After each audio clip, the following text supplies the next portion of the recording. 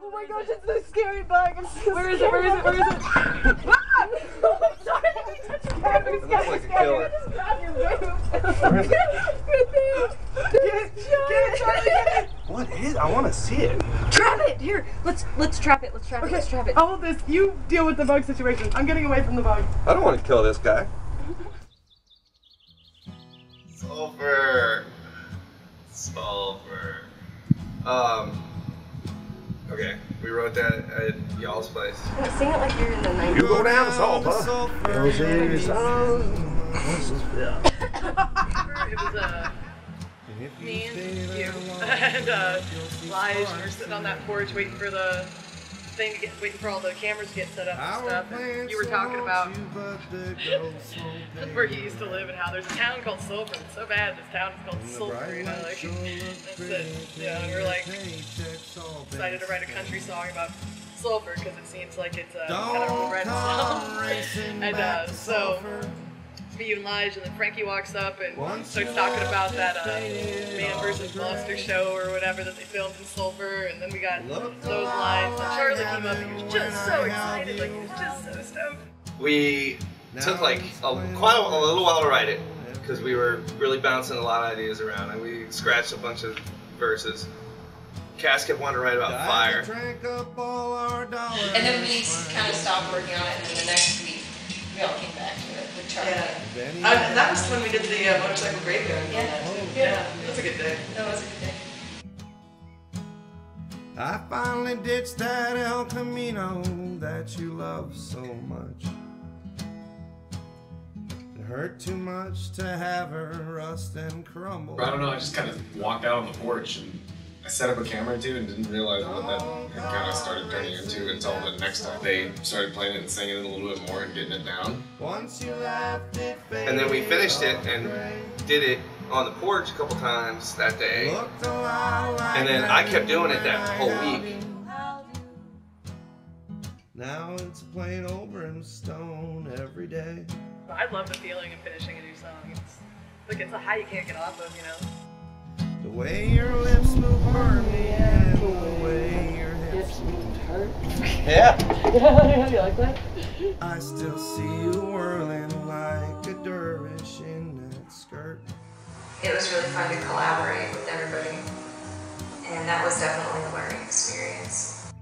And your good boots kicking up tornadoes in the dirt. There's just a lot of like techniques and tricks and stuff that I use to like get stuff going, and um, it's cool to hear other people's too, you know, and have them influencing yours, and you know, there's influencing theirs.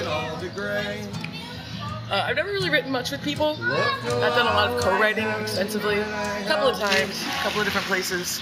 This has definitely been the most satisfying experience, like writing with Charlie and Bree and uh, helping, you know, helping out on uh, Hard Luck and Trouble. Geez, that was a lot of fun, getting all, all of us in one room and finishing that song. Um,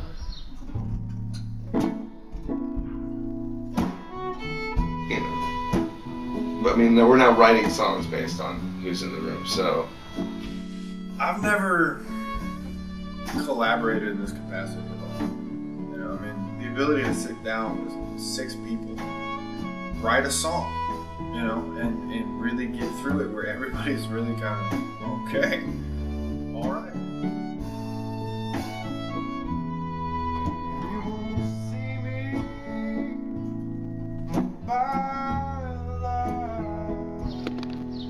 first line, I think the best. Like, you can see me by the light of the bridges that I've burned. That's a really good um, twist of phrase. I, I like turns of phrase, man. Turns of phrase, alliteration, and internal rhyme, slant rhyme. Oh, yeah, that's the stuff. It's still rough. Everything we do is rough. That's the way we do it because we're just doing it the real way, as fast as we can. you know, it's, we're trying to keep up with life, but it's hard.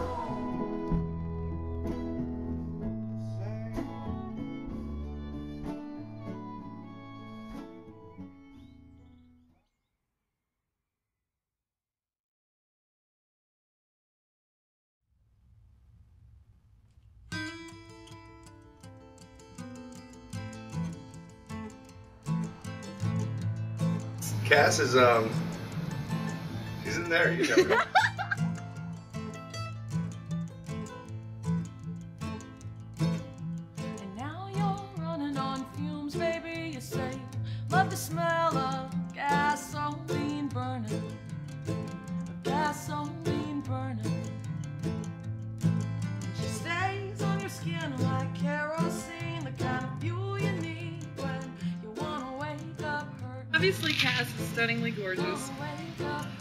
really fun, I think, to watch uh, the parallel of our sort of musical companionship and our friendship come along. No, Cass is a uh, really awesome singer from Omaha, USA. Buddy, Cass is definitely starting to become a close friend of mine. Definitely.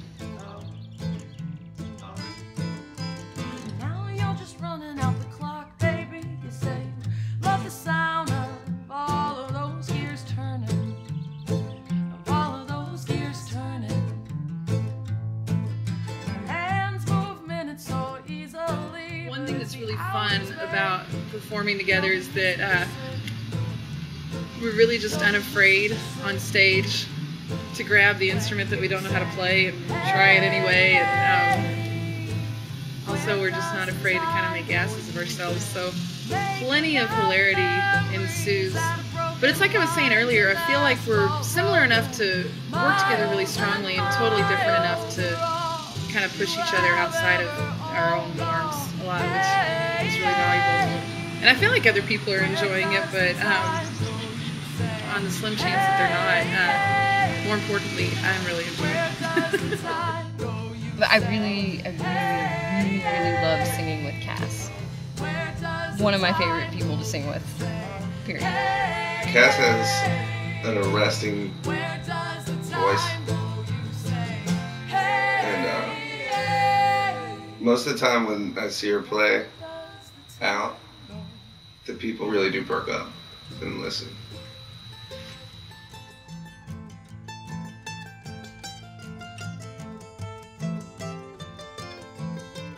Now you're just running out the clock, baby. You say you love the sound of all of those gears turning.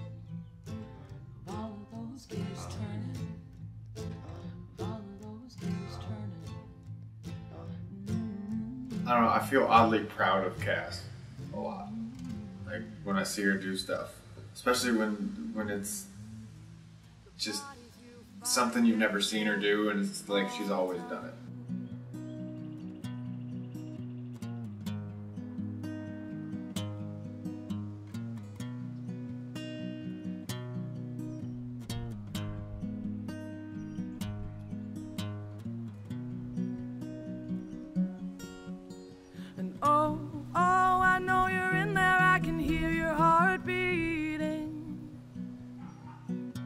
That she plays Would it is help if I screamed your name? incredible, and it's just, it's so Seems just to gets you. Because little lost in the of a totally different approach. She has like a a, writing background, you know. half the game.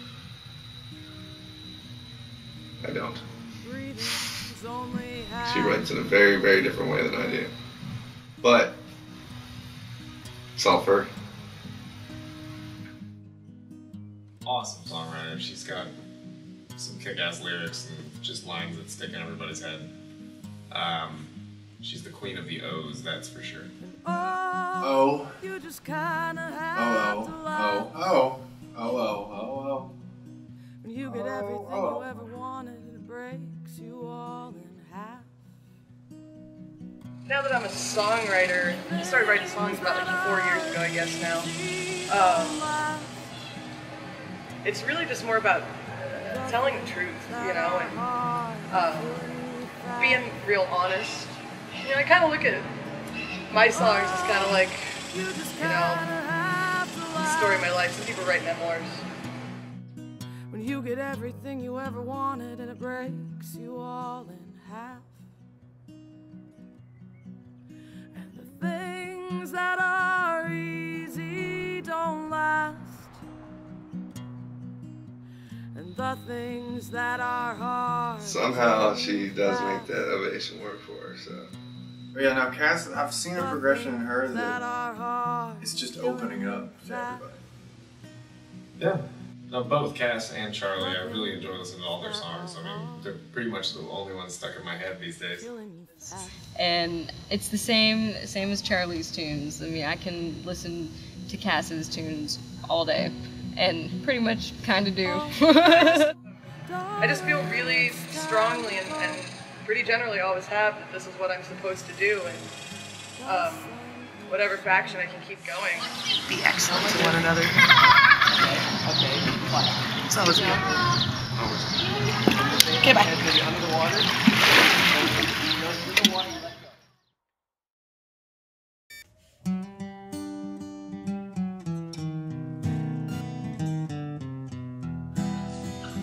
he's literally he's just standing there being Charlie and that's what's cracking me up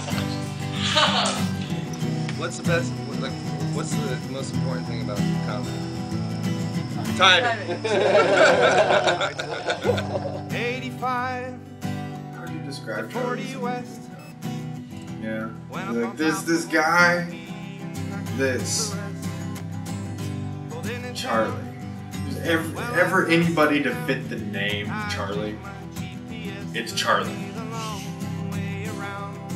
Um, no, but Charlie's great. Um, one of the first songwriters down here I started to pal around with, and um, through meeting him, I kind of met everybody else.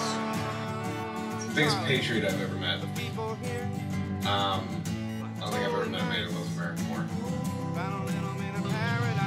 well, obviously Charlie's a blast to be around in any capacity, but uh, I guess when I first met him and hung out at first, I didn't understand totally the depth of songwriting. man, uh, when I heard his songs, man, I was just like, "Ah, I love these songs, man. I could listen to them every day, you know. Amazing songwriter, uh, very inventive and creative with his words. How he puts them together and turns a phrase. I like it. But the way he ties it all together, it's just like this really kind of beautiful, sad feeling that you get. Um, I don't know. I think that's special. And he's fun on top of it, so. And I mean Memphis is such a great tune and it's the one that I remember the most. Come on, come on, Charlie. The people here, like totally nice. And it's cool to see the juxtaposition between his, you know, big goofy teddy bear act and his um, really pretty, nostalgic kind of way of writing and singing. I hear a lot of sentimental feelings in there. Great guitar player too. I met his dad. His dad's a guitar player, and um, we were all down at Fido. And dad leaned over at one point, just you know, pleased his punch, and was like, "I taught him everything he knows." He's that good. He's the guy that can use the lines that you could never use. Everybody loves you when you got a Cadillac. I'm like, come on. like, I couldn't sing that. Unless Charlie wrote it. The 40 West went up on top of Old Smoky,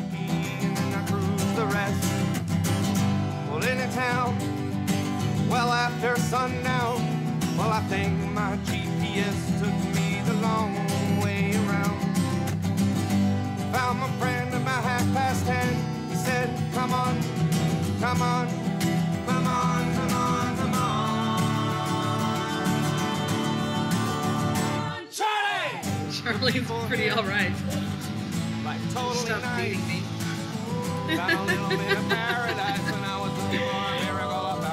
Funny guy, one of the funniest people I've ever met, There are a definitely. couple racks It's got wings. I'm not unsure that we're not related somehow.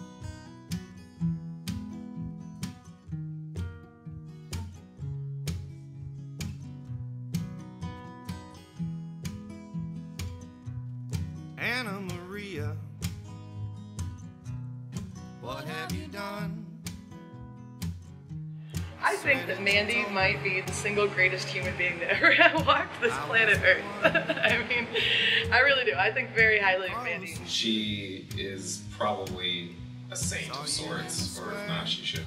I'm trying to look for a word like uh, inspiring. That's not so. It's cool to know Mandy. You know, like it's cool like in ten years to go back and be like, man, I knew Mandy Rowden. You know, hopefully I'll still know her. She's a lot of fun. Again, I'm not entirely sure I'm not related to Mandy somehow. I mean, Mandy and Charlie are somehow, you know, there's some family tree where branches interlock, interweave and all three or something. But uh, she's funny. I mean, she's wonderfully nice. I mean, to everybody. Uh, It's just she's definitely really impressive, well-rounded musician. she's a highly intelligent businesswoman too to be making her you know life be music i mean her whole life is something that she loves to do and she's made it happen for herself which is not something that all of us have been able to do and it's it's hard it's real I've seen her really go for it a couple times, and I think she's kind of getting that from Cass. You know, I mean, I could probably gush about Mandy all day. Uh, you know, um, a lot of a lot of the songs she's been writing lately, I like. I really like a lot. The day I first saw you in your street clothes, you were a dream right from your head to your toes. Ooh, Anna Maria. She does know how to play every instrument in the world. She played accordion last night. Especially when she plays fiddle. She's been playing fiddle a lot. She's one of those people who, when you play with her, you can do whatever you want, and you know that she's got her end. Person, great songwriter, so much passion behind her. And he'll steal your kiss. And she always thinks like one or two perfect lines into every song, at least. And she always throws those lines in there, but that whole whole song is just like a Mandy. You say it's too cold. Will you even tell him that's our swimming hole? And what's with the knee socks, the vest and the plaid? Every day, girl, it's driving me mad.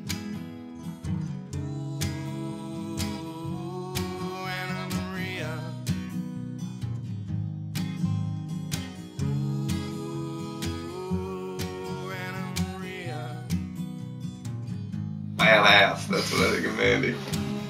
Badass.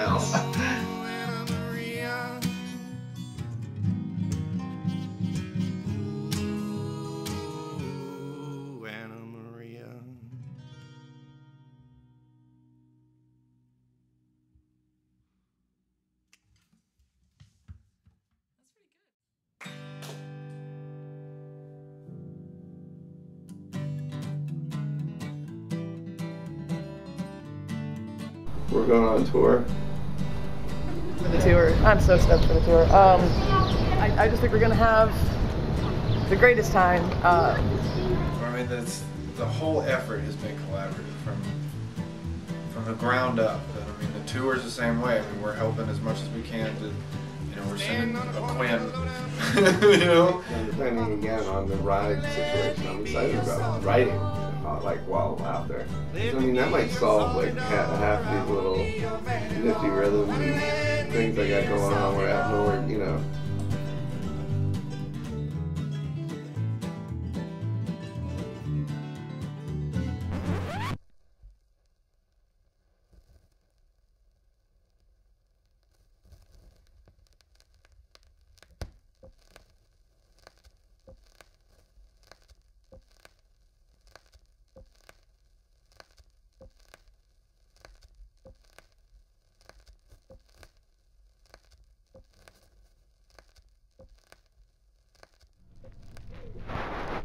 you know. Ooh,